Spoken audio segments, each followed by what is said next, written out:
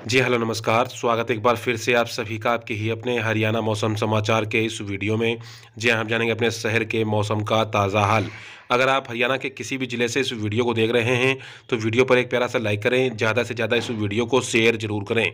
अगर आप हरियाणा ज़िले की मौसम की ताज़ा खबर पाना चाहते हैं तो प्लीज़ इस यूट्यूब चैनल को सब्सक्राइब करके बेल आइकन को प्रेस कर लें ताकि आने वाली सभी लेटेस्ट वीडियो सबसे पहले मिले। जी हाँ हम आपको बता दें मौसम ने ली करवट जाखल में आठ एम हुई बरसात। आगामी 29 जनवरी तक मौसम रहेगा परिवर्तनशील। जी हाँ खबर को जानेंगे विस्तार से। हम आपको बता दें, ज़िले में पिछले कुछ दिनों से मौसम परिवर्तनशील बना हुआ है। मौसम विभाग ने एक दिन पहले ही संभावना जताई थी, मंगलवार को बरसात हो सकती है।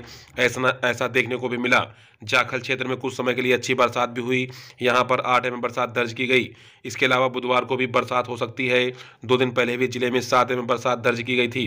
पिछली बार जाखल में पंद्रह एम बरसात दर्ज की गई थी। इसके अलावा ज़िले में बूंदाबांदी हुई। दिन भर मौसम बदलने के कारण तापमान में भी गिरावट आई।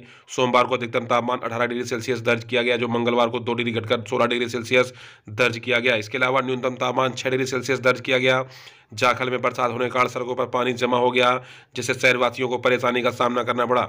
ज़िले में जाखल खंड में बेशक कम बरसात हुई, लेकिन फ़सलों के लिए संजीवनी से कम नहीं। किसानों की माने तो जनवरी महीने में अगर बरसात होती है तो फ़सलों को फ़ायदा होगा। पिछले दिनों से जो बरसात हुई थी, उसका फ़ायदा भी ये हुआ कि गेहूँ की फ़सल में सिंचाई कम करनी पड़ी। आगामी दिनों में भी मौसम विभाग ने बरसात की संभावना जताई है, जिससे फ़सलों को फ़ायदा होगा।